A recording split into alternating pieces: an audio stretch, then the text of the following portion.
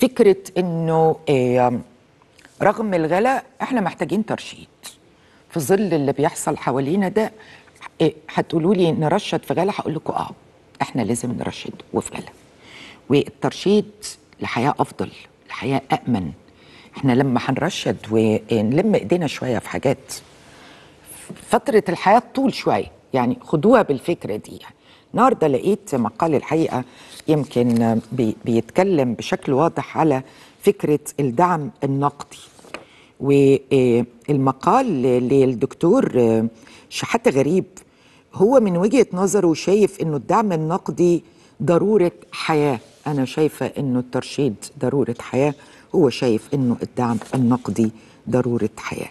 تحديدا بشكل واضح اولا برحب بيك دكتور شحاتة أهلا بحضرتك يا أستاذ عزة وكل سنة وحضرتك طيبة وحضرتك طيب. سلام يا فندم ليه شايف إنه الدعم النقدي أفضل للمواطن من العين بشكل واضح ومبسط وسريع اتفضل بش- بشكل واضح ومبسط وسريع يعني يمكن في في نص دقيقة الأول إحنا علينا كتير جدا من منظومة الدعم العيني ولم تحقق المستهدف منها. حصل. أنا عندي الدولة ال- ال- ال- المصرية عليها التزامات دستورية والجميع يتحدث عن العدالة الاجتماعية ويتحدث عن كفاله الدولة للأمن الغذائي وخلافه، وبالتالي أنا أرى أن الدعم النقدي يحقق العدالة الاجتماعية، لماذا يحقق العدالة الاجتماعية أيوة. الدعم النقدي؟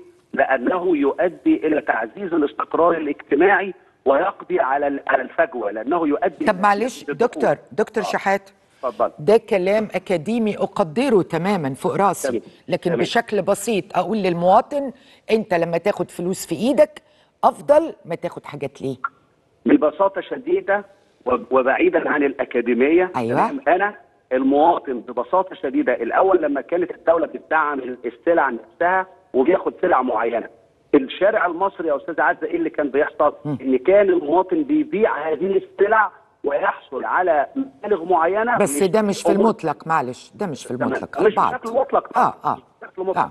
تمام. وبالتالي المواطن المصري البسيط لما يبقى في ايده المبلغ النقدي وبالتالي يقدر إن هو يكفي احتياجاته ويقدر إن هو يلبي متطلباته التي يحتاجها بالفعل. آه. احتياجاته الفعلية. احتياجاته الفعلية. اولا طب هقول لحضرتك على حاجة. هو دلوقتي لما المواطن ياخد دعم نقدي معين ايا كان هذا المبلغ حسب ما تحدد الحكومة هذا المبلغ وفقا لمعايير وقواعد معينة هو نعم. المواطن دلوقتي لما بيبقى في ايده مبلغ معين مش يقدر يوجه المبلغ ده للصحة ويقدر طبقاً لأولوياته. للتعليم آه. أولوياته وبالتالي بيحقق للمواطن وخاصة ال- ال- المواطنين اللي هم الأولى بالرعاية والأكثر احتياجا إن هو عنده القدرة إنه يحدد احتياجاته الأساسية ويحدد اختياراته الأساسية. يبقى هيبقى المواطن كما فهمت من المقال وكلام حضرتك هيبقى المواطن هو اللي بيحدد احتياجاته أولوياته وليست وزارة التموين أو الحكومة أو أو أو أو.